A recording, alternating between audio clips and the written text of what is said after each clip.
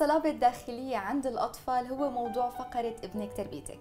ومع المدربة أنيسة الشريف مدربة والدية واعية ومؤسسة تنشئة رح نحكي كيف ممكن نطور الصلابة الداخلية عند أطفالنا وكيف ممكن نجعلهم أكثر قدرة على مواجهة العوائق وتحديات الحياة. أهلا وسهلا فيكي مدام أنيسة منورتيني. أهلا وسهلا فيكي. سعيدة جدا بلقائك. شكرا. أهلا فيكي. آه، حديثنا اليوم الصلابة الداخلية شو نعم. المقصود فيها؟ هذا السؤال هو أول سؤال دائما نسأله لما ندرب في ورش عمل الصلابة الداخلية. نحن عندنا مفهوم أحيانا يكون أنه الصلابة الداخلية لما نتكلم عن صلابة أنه هي آه، القوة والقسوة. وترتبط كلمة الصلابة بكلمات من هذا النوع عادة. لكن في الحقيقة هي أكثر ارتباطا بكلمة المرونة. خليني أعطيك مثال. أنا لما عندي شجرة وفيها أغصان قاسية ولما تهب عليها رياح شديدة فالأغصان الناشفة راح تتكسر بفعل الهواء صح. لأن ما عندها القابلية للانحناء الأغصان الغضة واللي فيها مرونة راح تنحني مع الهواء راح تعدي عليها الرياح القوية وراح ترجع, ترجع لمكان. توقف لمكان في مكانها مرة أخرى بهذا المعنى إذا أنا عندي الحبل مثلا هو أكثر مرونة من الغصن الجاف لأنه هو عنده القابلية للانثناء بس لما أفتحه يرجع لحالته الأولى مرة أخرى. فإذا نحن لما نتكلم عن الصلابة دائما نتكلم عن المرونة بمعنى القدرة على التعافي من المواقف الصعبة.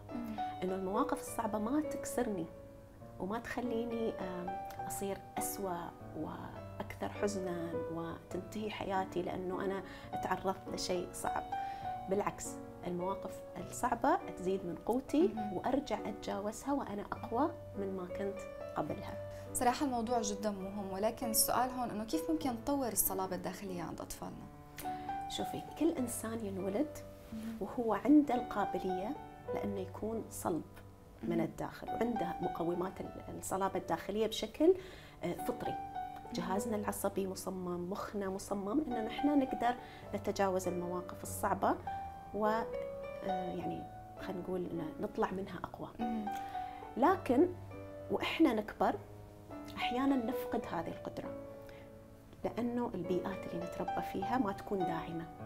ما تشجعنا إنه ننمي القدرات الفطرية اللي هي أصلا موجودة ومخلوقة آه، الله أعطانا إياها من من البداية. نحن اليوم الأبحاث تقولنا انه علشان نحن نشجع الأطفال أو حتى الكبار علشان نقدر يكون عندنا صلابة داخلية نحن في بيئاتنا محتاجين ثلاثة أشياء. أول شيء علاقات قائمة على المحبة والثقة. ثاني شيء مجتمع داعم. والثالث شيء هو قدوة. أو مثل ما يسمونه بالإنجليزي رول موديل. يعني أنا كطفل أو خلي أقول من وجهة نظر الأم، إذا أنا أم أو أب أبغي أشجع الصلابة الداخلية عند أطفالي لازم أنميها في نفسي أول. ما في أي طريق آخر. إذا أنا ما أتمتع فيها إذا أنا ما قادرة أطلع من المواقف آه، الصعبة آه، بشكل سلس وإيجابي وأكون أقوى هم ما راح يكون قدامهم قدوة يتعلمون منها. لأن هذه الأشياء ما يتم التعلم آه، أو تعلمها عن طريق إني أنا أقول صح. كلام. إنه لا لازم تكون قوي. بالضبط. هو يشوفني أنا أمه أو أبوه كيف أتعامل مع المواقف الصعبة؟ هل أنهار؟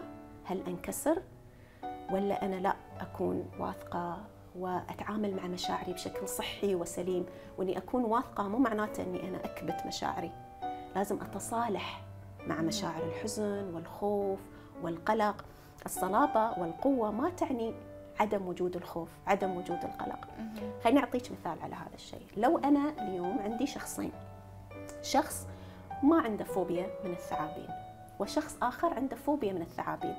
ومعروف إنه الناس اللي عندهم فوبيا ما يقدرون حتى ينظرون لصورة صح. فيها آه، الشيء اللي هم عندهم فوبيا. يعني مثلا إذا أعطيتهم صورة فيها ثعبان ما راح يقدرون إيه بنمل جسمهم تلاقيهم تماما تماما. يصير في عندهم آه، ردود أفعال. إذا أنا جبت صورة فيها ثعبان وعطيتها لشخص ما عنده فوبيا ومسكها وجبت صورة فيها ثعبان وعطيتها لشخص عنده فوبيا ومسكها. منو فيهم الشخص الشجاع؟ اللي عنده فوبيا. لأنه هذا الشخص اللي ما عنده فوبيا ما عنده مشكلة أصلا. هو أصلا ما عنده مشكلة فصورة الثعبان هذه ولا شيء ما في تح... ما تشكل أي تحدي. فأنا ما أقدر أقول عليه شجاع. الشخص الآخر اللي عنده خوف ومع ذلك تجاوز خوفه ومسك الصورة هو الشجاع. اذا الصلابة ما تعني اني أنا ما أحس بالخوف. ما تعني إني أنا أكتم مشاعري لا تعني إني أتعامل معها بشكل صحيح. مواجهه أواجهها أفرغها بشكل صحيح. إذا أنا حزينة أعطي نفسي مساحة إني أحزن. الحزن هذا بياخذ مداه وراح ينتهي. لكن إذا أنا خطأت المشاعر وقعدت أقول لا أنا ما لازم أحزن. أنا لازم آه، أكون آه، مم- ممتنة للأشياء اللي عندي في حياتي. صح أنا لازم أكون ممتنة لكن الحزن شعور طبيعي. هذا شيء لازم أتقبله. الإحساس بالخوف الإحساس بالقلق لازم نتقبل مشاعرنا في حدود الطبيعي وأسمح لها أعطيها مجال انها تطلع لما الطفل يشوف هذا الشيء قدامه بالقدوة هو يتعلم أن مشاعره أيضا هي مشاعر طبيعية. فإذا أنا خفت مو معناته أني أنا إنسان فاشل. لا بس لازم أدور على طرق أتجاوز فيها. خوفي. فبهذا المعنى القدوة. الشيء الآخر هي المصادر الطب... أو خلينا نقول المصادر المجتمعية مجتمعي كله لازم دائما يتعامل معايا باحترام وبتقدير ويساعدني إني أتجاوز هذه المشاعر الصعبة فإذا. تمام فإذا أنا كأم أو كأب ما عندي مساندة في مجتمعي أنا ما راح أقدر أتخلص من مشاعري غالبا راح أطلعها على أولادي مهم. وبالنسبة للأولاد إذا هم المجتمع الأكبر خارج البيت غير داعم المدرسة غير داعمة. المجتمع الأصدقاء. أيضا أنا كأم لازم أبذل مجهود أكثر أني أنا أعطيهم علاقات محبة وقدوة كيف أتعامل مع الموضوع لأن أنا ما عندي عامل مهم من العوامل الثلاثة اللي تبني شخصية الطفل. الجزء الثالث أو النقطة الثالثة واللي هي دائما يصير فيها لغط موضوع العلاقات المحبة. إحنا نتخيل sometimes أو أحيانا نتخيل إنه أنا علشان أخلي ابني أو بنتي يطلعون أقوياء ولان العالم برا يخوف ومخيف لازم أتعامل معاهم بقسوة داخل البيت. وهذا عكس تماما اللي أنا لازم أسويه. أنا في البيت بالعكس الطفل اللي يحصل حب واحترام ويتم استيعابه واحتوائه بمحبة لما يطلع للعالم الخارجي ويكون عنده مشاكل وظروف صعبة عنده مخزون يسحب منه. ما راح تكسره هاي المشاكل لأنه يعرف أنه راح يرجع لأمان البيت لأمان علاقته مع أمه وأبوه. يعني أنا وافقه الراي إذا حال إذا في حال مر بمرحله صعبة. تماما. لازم نفرق بين المشاعر والسلوك. المشاعر في قاموسنا في قاموس التنشئة عبر التواصل مسموحة. كل أنواع المشاعر. وغالبا المشاعر ما بتكذب لا. بتكون فطرية طبيعية يعني تماماً. الطفل اللي عم بي... عم بيحس بمشاعر فأنا ما حخطئه. ابدا ما لازم اخطئه بالعكس أنا طريقتي في مساعدته لتجاوز هذه المشاعر هي إني أنا أقول له إحساسك سليم. أنت حاسب هذا الإحساس. تمام. شو نسوي بعدين؟ كيف نتعامل الحين؟ كيف نخلي هاي المشاعر ما تأثر علينا؟ لكن إذا أنا ما حسسته إني أنا فاهمتنه ما راح يتقبل مني شيء. نحن عندنا قاعدة في التربية الواعية هي connect and then correct. يعني أول شيء تواصل بعدين صحح أو علم. إذا أنا أي إنسان فينا إذا أنا إنسان ما أثق فيه وما أحبه وأحس إنه هو مش فاهمني صح. ما راح أتقبل منه النصيحة. صح. لكن لما يحسسني إنه هو فاهمني وهو متعاطف معايا و- وحاس باللي أنا أمر فيه بعد ما نخلق هذا الكونكشن بعد ما نخلق هذا التواصل ونخلق هذه الثقة بيننا في العلاقة هذا الإنسان راح يتقبل مني. مثل علاقة الطبيب والمريض تماما. إذا فهم الطبيب المريض فهو رح يبدأ بالعلاج. في أي علاقة في الدنيا نحن بشر.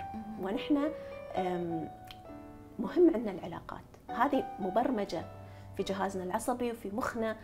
لازم قبل ما أنا أم، أتقبل منك أي شيء لازم أحس بالثقة تجاهك. لازم أحس أنه أنت تحبيني.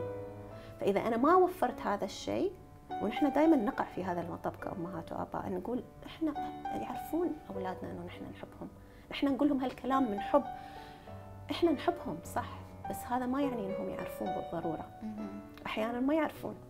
واحيانا طريقة المسج أو الرسائل اللي نعطيها تخون. اياه طريقة التعبير ما بتوصل تمام ما توصلهم ابدا والعكس يوصل يوصل شيء معاكس تماما للي نحن كنا نقصده فضروري إنه نحن ننتبه في علاقتنا مع أولادنا لهذا الشيء حبنا لهم ورغبتنا في إنه هم يبنون شخصيات قوية ما تعني ابدا تجاهل مشاعرهم بالعكس كل ما حبيناهم أكثر وتفهمناهم أكثر راح ننمي قدراتهم الذاتية على الصلابة الداخلية. جدا سعدت بلقائك أستاذة أنيسة الشريف نورتيني صراحة والحديث معك جدا ممتع. شكرا لك يا ديانا. أهلا فيكي. متابعينا خليكم مكملين معنا رح نروح لفقرة منا وفينا.